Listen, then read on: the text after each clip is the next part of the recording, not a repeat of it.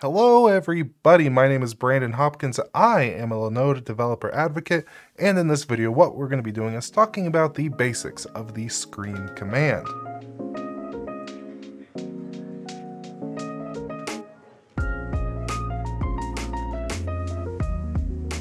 If you don't already know about the screen command, it's basically the perfect little tool you didn't know you needed. Basically what it does is it allows you to launch and use multiple shell instances from a single SSH connection. Or simply put, you can run terminals inside of terminals. This functionality is really good if you're doing something like a update command that's going to take you a while and you want that to kind of run in the background while you can still interact with your Linode or your server. Or let's say you want to fire up a Docker container and actually be in that Docker container and then you want to detach from it without actually being detached. Ultimately, there are a ton of different use cases for this, and it all depends on your workflow and what you are doing. But to kind of demonstrate what I'm talking about here, I went ahead fired up a fresh Linode running Ubuntu, and we're going to go ahead and copy this right here. By the way, if you go ahead and check the link down below and you want to try this out today, there is a $100 60-day credit, so you might as well take advantage of that. And then boom, here is a terminal. So what I'm going to do is I'm going to paste that and SSH into our server. Yes, this is my server. Type in our root password. And here we are. So the very first thing I need to do real quick is a apt update so I can actually install screen. It usually doesn't come pre-installed, but we will see. Now we will check to see if it's installed. So let's apt install. And it looks like we already have screen. So what we're going to do as an example is we're going to create a new screen to go ahead and update our system, quickly detach from it, and be able to interact with our system while there's an update running in the background. And to do this, what we could do is type in screen dash S, and we're going to do update. So the dash S is creating our new sock or our new screen. And let's go in there. So now this is separate, or it's kind of like a different window of this SSH instance. And of course, you can interact with this however you want. For example, I can show the whole root directory, and I can run the apt upgrade. Before I do this, I want to talk about shortcuts. There's a couple different shortcuts on your keyboard that you can use to detach, reattach, do all kinds of things with this little application. And the one that we're going to use is Control A and D, and that's going to go ahead and detach from the screen without stopping it. So if I run this upgrade command here, hit enter, you can see the process is going to start. I'm going to say yes, and then I'm going to go Control, A, and D. There we go, and we can see that I've it detached from the update.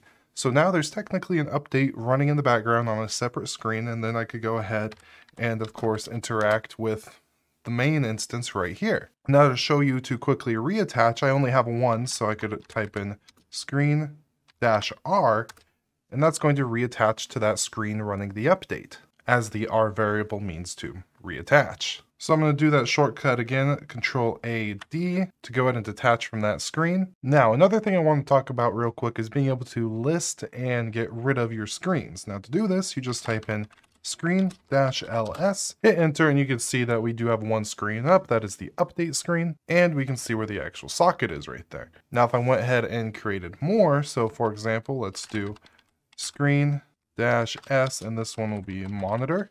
Hit enter, and then we could go ahead and uh, run something like, let's do htop, and then let's go ahead and uh, detach from it, so control AD. And now if I run that ls, we can see we have both monitor and update there.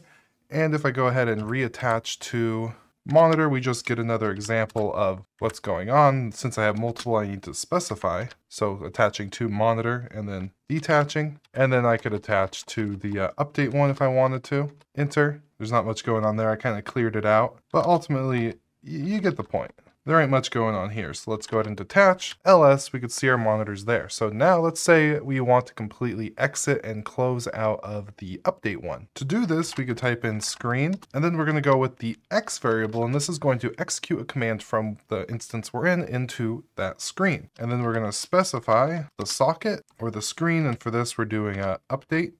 And then the command we're going to run is going to be quit. So hit enter. And now if I ls again, we can see we only have one running.